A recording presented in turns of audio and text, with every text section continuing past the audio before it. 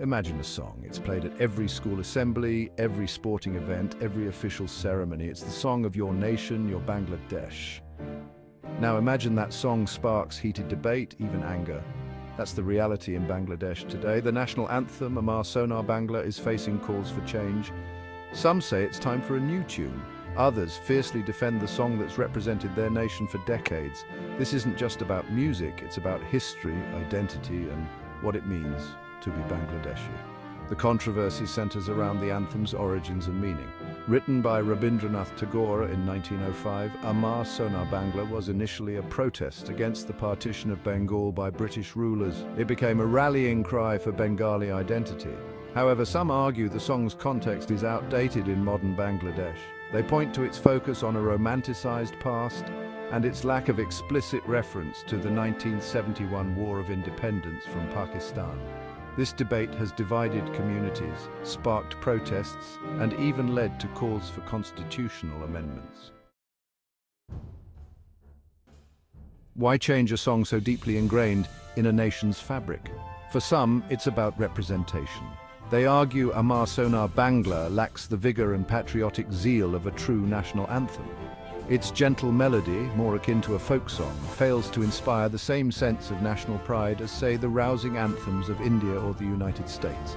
They envision a new anthem, one that reflects the struggles and triumphs of Bangladesh's hard-won independence. This new song, they believe, would better capture the spirit of a young and ambitious nation. Others cite religious concerns, Amar Sonar Bangla makes no mention of Islam, the religion of the vast majority of Bangladeshis, while the song's original context predates the creation of Bangladesh as an Islamic republic. Some believe a national anthem should reflect the country's dominant faith. They propose incorporating Islamic verses or themes into a new anthem, aligning it more closely with the religious identity of the nation.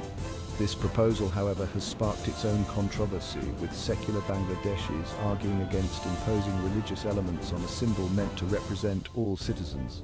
Finally, there's the issue of historical accuracy. Amar Sonar Bangla speaks of a golden Bengal, a land of beauty and abundance. Critics argue this idyllic portrayal ignores the realities of poverty, inequality and political turmoil that have plagued Bangladesh throughout its history.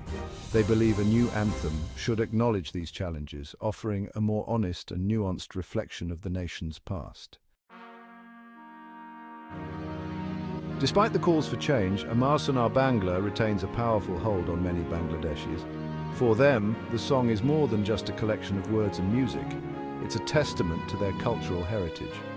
Written by Tagore, a revered figure in Bengali literature, the anthem represents the rich, artistic and intellectual traditions of the region. Changing the anthem, they argue, would be tantamount to erasing a vital part of their cultural identity.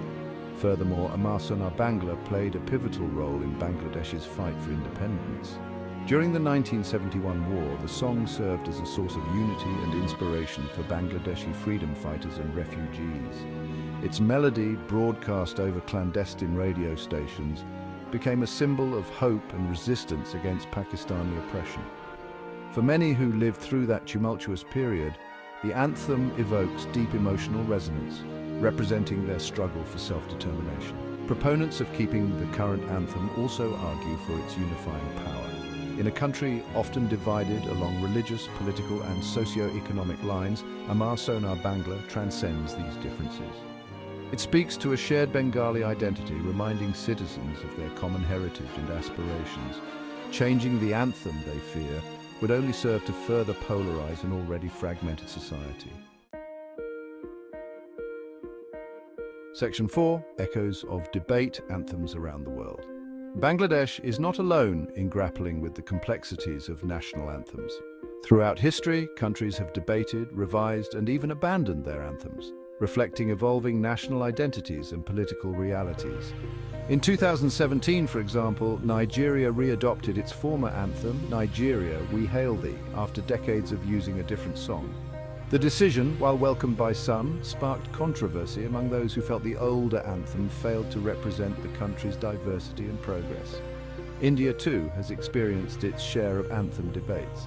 Some politicians have called for revisions to Jana Gana Mana, arguing that certain verses are outdated or inaccurate in the context of modern India.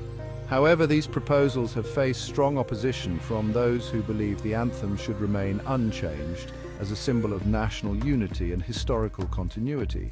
These examples demonstrate the enduring power of national anthems and the complex emotions they evoke.